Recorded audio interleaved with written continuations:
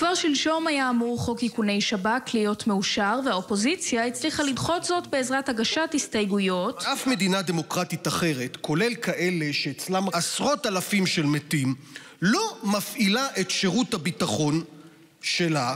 לאחר שסיכמו האופוזיציה והקואליציה על דחיית ההצבעה לשבוע הבא, ביקשה אתמול הממשלה בדחיפות מוועדת החוץ והביטחון להעביר את החוק, וגרמה להפרת הסיכום.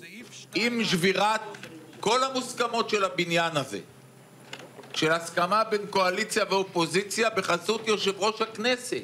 אלא שאתמול לקואליציה לא היה רוב במליאה וההצבעה שוב נדחתה. הערב, והפעם באמת, צפוי החוק להיות מאושר בתום דיון ארוך במליאה שעדיין נמשך. אין ויכוח, אדוני היושב ראש, שחלופה אזרחית לכלי הזה היא עדיפה ברמה העקרונית, אך על פי התרשמות הוועדה אין עדיין חלופה אזרחית בשלה. ההצעה שצפויה לעבור היא לחוק מצומצם שיאפשר שימוש במעקבי שב"כ למשך שלושה שבועות במגבלות כדי לאפשר שהות לכנסת לדון לעומק בחוק מפורט יותר. הדבר היותר חשוב זה אמון הציבור בהנהגתו. ואני לצערי, כמי שמלווה את סוגיית איכוני השב"כ מתחילתה, איבדתי את האמון הזה.